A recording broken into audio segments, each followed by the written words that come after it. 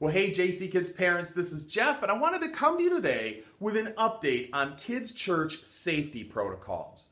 Now, you may have seen in the news over the past couple days that our county executive, Marc Elrich, has proposed uh, an executive order that would decrease the capacity in a number of things countywide businesses, restaurants, and for our purposes, churches.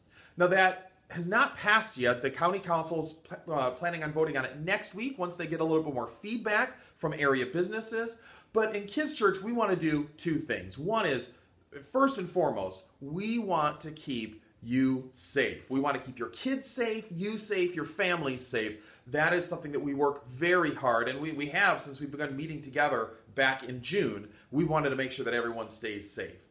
We also want to make sure that we are on the front edge of following uh, all of the county and state COVID safety protocols. We, we want to make sure that we're not negligent in following all of those. So we are beginning to dig into that executive order and make sure that we're following it to keep kids safe.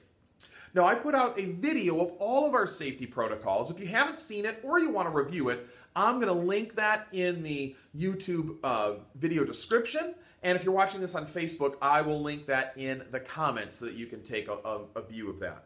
Now, a couple things that are important to note in that. First of all, I shared that we want to stay outside as much as possible. Now, I thought coming into November we'd be done with outside. I thought it would get too cold. Man, this weekend's looking beautiful, so we're going to be outside. Uh, we know that that's the safest place to be. The county, the state, all of the scientists and doctors agree that outside activities are the safest. So we'll be outside anytime it's over 50 uh, and dry. So we'll, we'll be out there. And, and, of course, we've been doing that since June. We know how to keep that safe, how to keep kids distant, and, and all of that kind of stuff. Now, inside, uh, the previous executive order, based on our square footage, said that we could have a maximum of 31 families in the spot where we hold kids' church.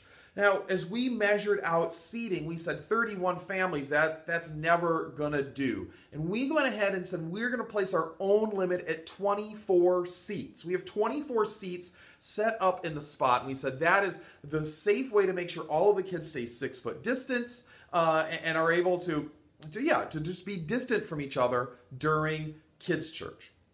Here's the good news. Uh, the new county standard that was proposed by Marc Elrich is that we uh, limit uh, ourselves to 25% capacity of the room. The room's capacity is over 100 kids, which means the 24 seats that we have already exceed even the new proposed executive order from the county. That's how much we care about keeping you and your kids safe. We are even exceeding uh, the capacity restrictions set forth by the county because we want to make sure all of those kids are able to stay comfortable and distant from each other. So for Kids Church, we don't need to enact any new safety protocols. We think that we've done a really good job of enacting all of the necessary safety protocols. And like I said, you can review that on that video uh, that I'll link in the description and in the comments. Uh, but it's, it's, I think it's great news that uh, and I think it kind of reinforces that we're doing the right things. We're already doing the right things to keep everybody safe. Of course, we always have a an online version of Kids Church as well. We call it our studio version, and we release that at 9 a.m. on Sunday on our YouTube channel and on our Facebook group. So there's two options for kids. Both are safe. A, a digital version at 9 a.m. and anytime after on demand, or an in-person version at 11:15. I do want to emphasize how important it is to register your kids for that in-person version. We are limited to 24 seats and we want to make sure that we don't exceed that. So uh, anytime your kids are planning to come to kids church, you want to register at ilovethischurch.com slash event. And in fact, registering earlier in the week will help secure your child and make sure that they have a spot here in the spot.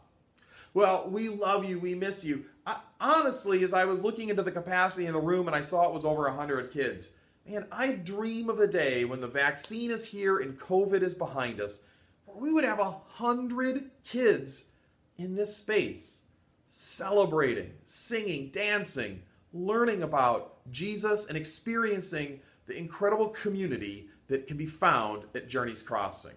But until then, we know we have safety protocols in place to limit the number of kids here, but keep everybody safe. I love you. I miss so many of you, and I can't wait to see you again soon. Bye bye, everyone.